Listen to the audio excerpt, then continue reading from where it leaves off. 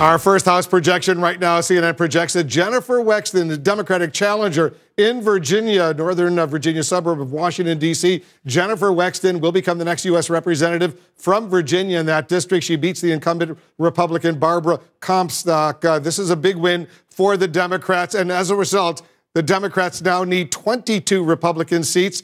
They need 22 Republican seats. It's gone down from 23 in order to get the majority, uh, Jake uh, in the House of Representatives, assuming they don't lose any of their own seats. Well, this is not a surprise. Uh, it's, a, a, a good a, a, good pickup for the Democrats. It's not a surprise. This is the heart of the resistance, Northern Virginia. Uh, Hillary Clinton won this district uh, two years ago. Barbara Comstock was able. She's a skilled politician. She was able to still win in 2016, but this time uh, she had a very able opponent, uh, soon to be uh, Congresswoman elect Jennifer Wexton, who labeled her instead of Barbara Comstock, Barbara Trumpstock, and pointed out that even if she every now and then distanced herself from President Trump, she voted with President Trump. This is not a surprise, but it is one. Um, one. It's the first big uh, pickup for the Democrats. But what does it say about potential uh, potential other pickups? It shows that Donald Trump, as we have been saying for a long time, and Republicans and Paul Ryan have been warning about for some time, is toxic in a lot of the suburbs, and specifically, and we'll, we'll get down to the breakdown uh, in the exit polls about this,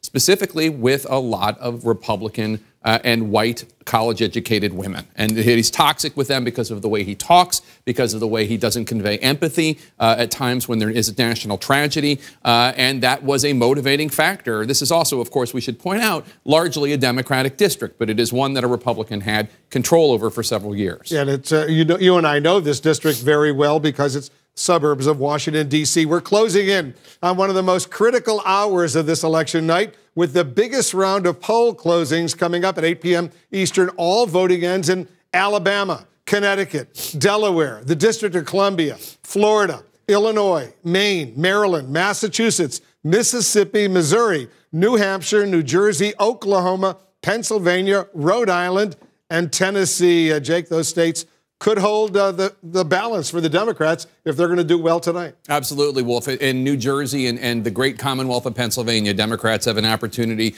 to win about one third of the Republican held House seats that they need to reclaim the majority. One third. Now, one of their best shots at a House pickup is in the Garden State, New Jersey. Former prosecutor and Navy helicopter pilot Mikey Sherrill is aiming to flip the open seat in her conservative leaning district. She faces a Trump backed Republican state lawmaker, Jay Webber. We're also watching three high profile Senate contests in Florida, as we've been talking about. Democratic incumbent Bill Nelson currently leading the state's Republican governor, Rick Scott, with more than half of the votes already in from that state. In Missouri, Senator Claire McCaskill is one of the most vulnerable red state Democrats running for re election. She faces the Republican Attorney General, Josh Hawley. And in Tennessee, former Democratic Governor Phil Bredesen and Republican Congresswoman Marsha Blackburn are in a toss up race. This is one of the few states where Democrats have a shot, a thin shot, but a shot at winning a Republican held Senate seat this evening. We'll see if there is a wave of any sort. We're also watching that high stakes Florida governor's race. The Democratic mayor of Tallahassee, Andrew Gillum, now holding a solid lead in his bid to be the state's first ever African American governor. His opponent, former Republican Congressman Ron DeSantis, is closely aligned, aligned with President Trump. Wolf? Thanks very much. You know, things are going to start moving very quickly at the top of the hour when a whole bunch of these states close. But give us a big picture of where things stand in the House right now. Eight o'clock hour will give us many more clues to the House. You can start to get New Jersey. Democrats think they have some pickups there. Other results coming in as well. But let's look at where we are right now. And as you were talking to me, as you started speaking, Wolf, uh, something changed on the map, and I'll show you about it in a minute. These numbers can be a bit confusing because 56 Republicans are leading, most of them in solid Republican districts. 43 Republican, 43 Democrats are leading, most of them in safe Democratic districts. So let's just filter it out and look at what are the races we're watching that we have not called that are potential pickup opportunities. And you see 11 Democrats leading in Republican held districts, one Republican leading in Democrats districts. So we've already reduced the magic number to 22 by calling that Virginia race. Democrats, that would be halfway if they won all those races, halfway. The Republican district remains the same one we showed you earlier down here. I just want to say this is a usually a safe Democratic district. We only have 4% of the vote. We'll see if this plays out. Midterm elections, every election can bring a surprise. This would be a big surprise if Sanford Bishop loses his House district down there, especially in a year like this. So, where are the Democratic targets of opportunity? We have a couple out here in Ohio. I just want to come back into Virginia because this one has been back and forth all night long. We've already called this. So if you're watching at home, you say, what about the 10th district? It's not on this map because we've called this race for Jennifer Wexton. So we'll come back here now. This is one has been going back and forth all night. So let's just check. The Democrat, Abigail Spanberger, now 2,500 votes ahead, 50%, 48%, a very close race still.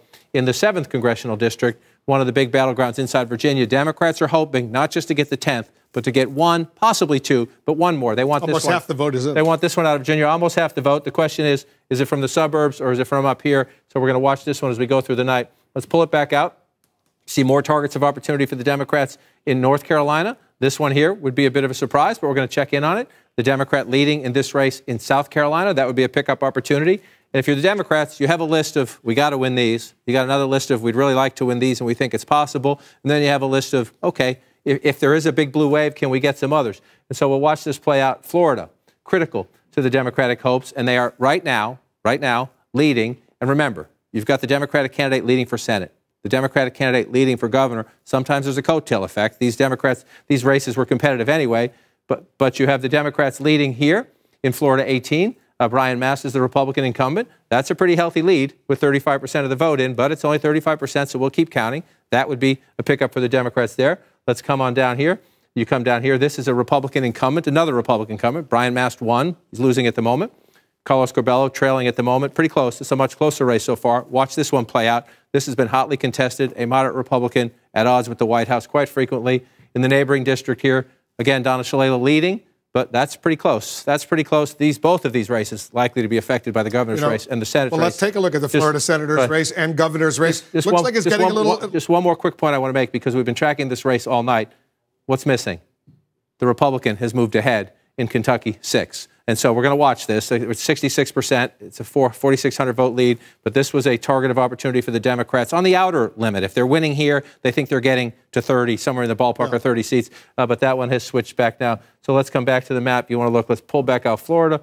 Let's switch over to the Senate. Uh, you see the map starting to fill in, and you see this is Florida. Uh, you, you could change the names, and you'd have a very close race. And what do we have? 51 49, 92,000 votes. That's a healthy lead. You're happy to have it. In a state like Florida, that can change. The question is, can it change?